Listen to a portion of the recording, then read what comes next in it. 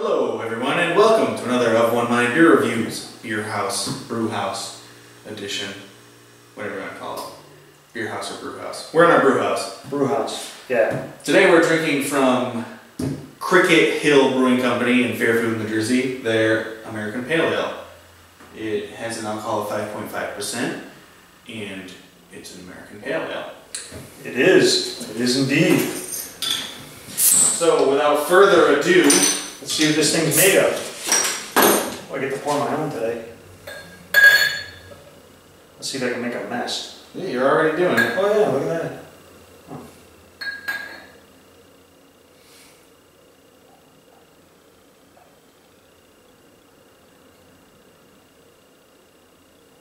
You're learning.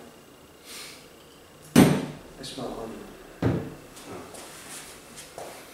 Not a smell that I look forward to in IPAs. General rule. It's not an IPA, it's an American Oh, right, it's pale ale, okay. pale ale. Okay, what does it look like? It looks like a medium amber to me. Yeah. Two finger, slightly off white head. Nice, nice and clear. Yeah, clear, good. Yeah. Yeah, I smell uh, like malt, Yeah, I smell, sweet, like kind not honey. Yeah, I think I said honey as I was pouring. You did.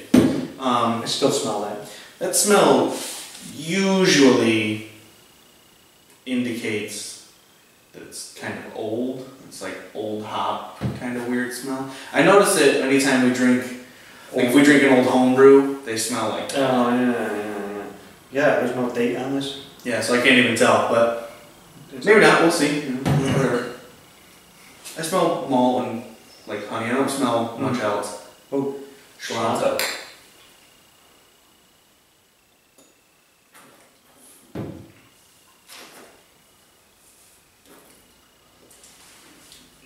Hmm. It's a little sweet. Yeah, I was thinking sweet like caramel kind of, Yeah. or caramel. Either one is an acceptable pronunciation. Indeed. Hmm.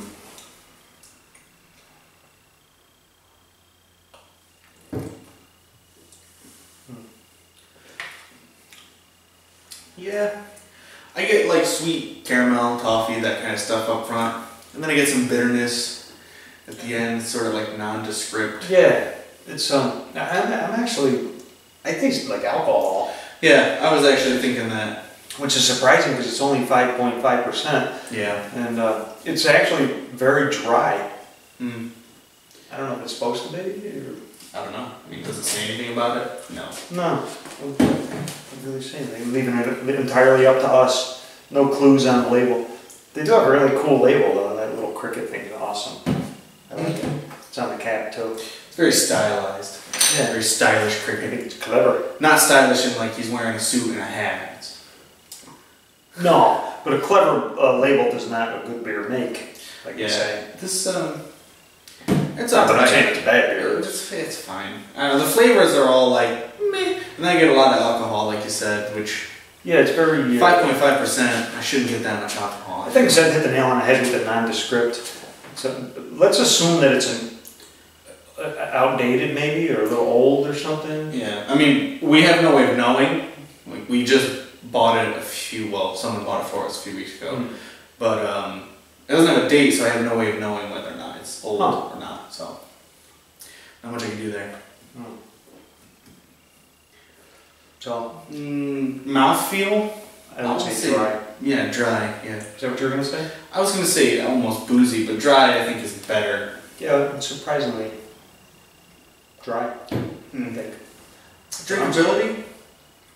You can drink it. It's not. It's not unpleasant to drink. It's just kind of like Yeah, maybe it'd be great fresh, but maybe. It's hard telling from from this vantage point. Yeah, I mean, again, I don't know if it's old or not. If it is, then that would be why. If it's not, then Yeah, it was kind of So- mediocre. because I can't find a date, I'm gonna go off the assumption that it is fresh because it was recently bought.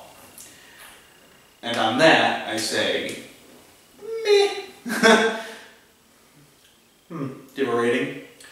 I'm uh I'm giving it a three. Three. Me as well. Yeah. Yeah. It's just um, it's fine. It's drinkable. Pretty, pretty average. Yeah, the booze knocks it down. I don't know. Yeah, yeah, I'm, hate to be down on it. I mean, three is still fine. Cricket Hill people will probably be pissed, but, Mm. well, no, three's a good, you know, it's not bad. No. I said, average.